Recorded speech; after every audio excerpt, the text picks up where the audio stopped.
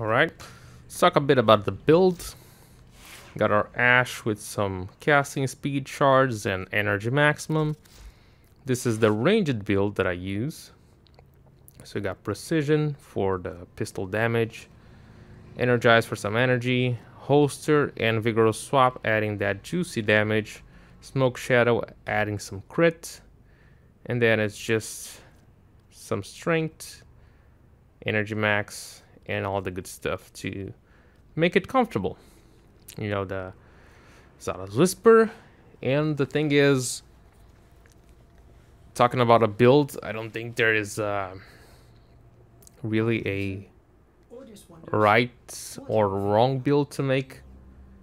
I just think that there is a right build for you. And for me, this is it. I wouldn't change a thing. It's the build that I'm comfortable using and the one that kills level cap. So for me, it's good.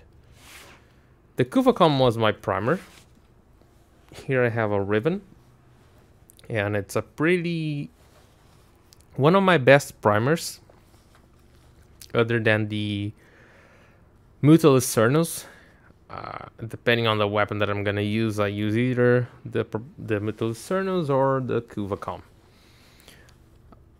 Has a good amount of stats. We got the magnetic viral heat, IPS, and for the arcane, I like to use Exhilarate, even though I probably didn't need it for the the entire run.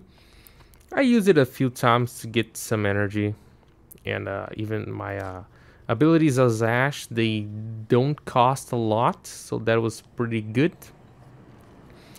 I'm using silent battery here because of the to get the get it muffled the noise, and that is was one of the first runs that I actually didn't use a silencer mod on my secondary. These are the perks. For this time, I chose to go with Lethal Momentum for the projectile speed, which is, I think it's really good. The build is this. This is even the build I showed you guys on the the first Angstrum video, if I'm not wrong.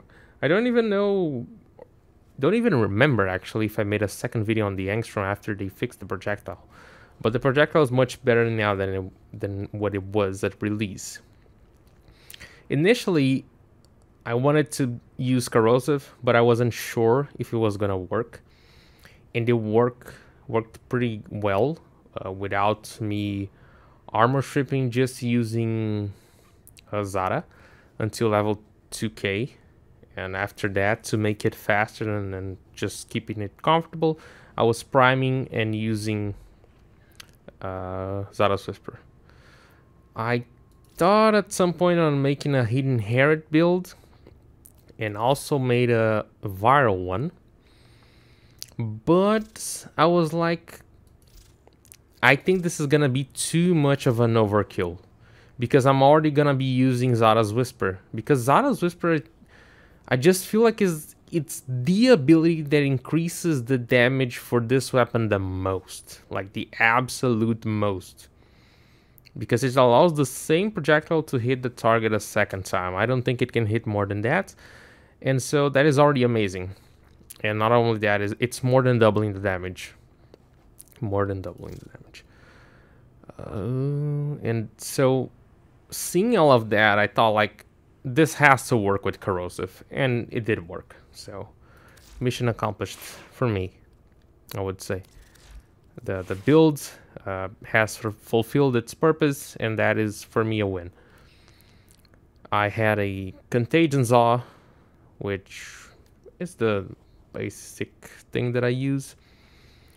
Uh, again, this was much easier than the Protea one. I didn't have to, to use the Contagion as much.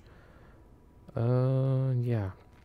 I really only armor stripped when things on normal kills when things went like super crazy, like the last demolisher that I I had the clip on. That was really crazy use finishers a couple times. Out of sight, you can see an action a lot. Blood for energy not as needed.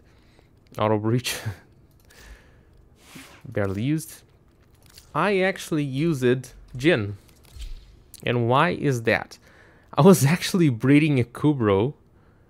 Not breeding, raising. What's even a what's even the name of it? Incubating? Yeah, I was doing some Kubrow breeding and I couldn't take a uh, a companion with me, so I had to take a sentinel and the only thing that can barely survive is Djinn.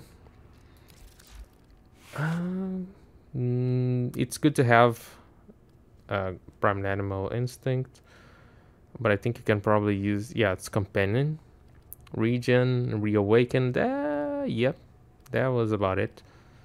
Nothing too crazy. But because I'm using a invisible frame, he was just uh, not attacking while I was invisible. Uh, and that is really frustrating.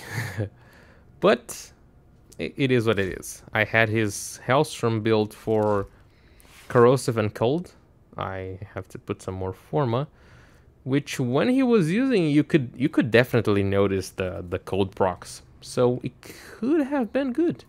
Maybe with the Sentinel or Companion rework that we're gonna see, this is gonna turn out better. And yeah, I kept my